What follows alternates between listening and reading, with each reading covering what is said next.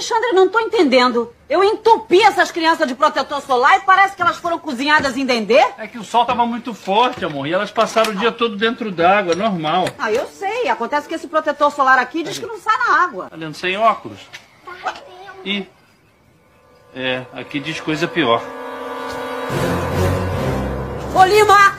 Você fez a gente usar protetor solar vencido! Como assim, vencido? Eu comprei esse protetor não tem nem cinco anos. Cinco anos! Retardado sabe que isso aqui vence em dois! Então qual é o seu problema, Renata? O problema é que o responsável do teu marido fez as minhas crianças usarem protetor solar vencido e agora eles estão tão vermelhos que eles brilham até no escuro! Todo mundo de boa aqui.